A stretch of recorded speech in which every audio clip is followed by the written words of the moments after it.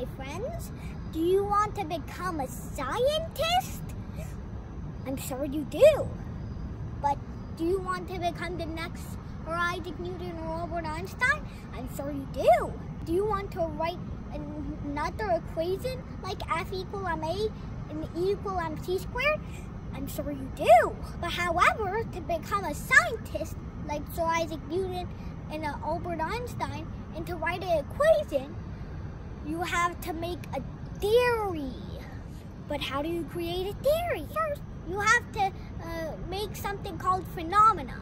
Then, you have to observe the phenomena.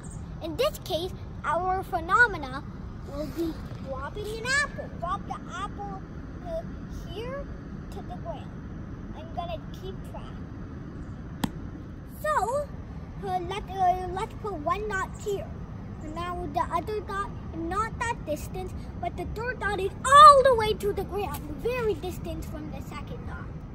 But you might be asking, Bruno, why did you draw dots, imaginary dots by the way, when you dropped apples?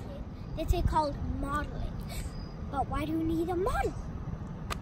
Well, because modeling allows you to write a hypothesis. But why do you need a hypothesis?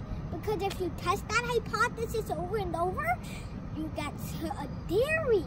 But but if that hypothesis works every time, then it's not just a theory, it's a law. Laws always come in the form of equations, like uh, Newton's F equal ma or Einstein's equal mc. So what hypothesis does just dropping some singular object give us?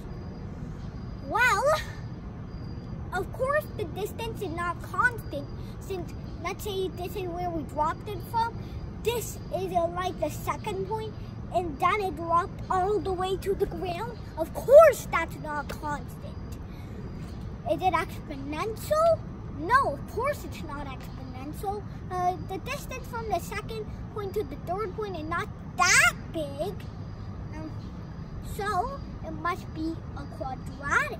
Let's replace x with t. So we get 8t squared plus bt plus c. Now set b and c to 0 and a to 5.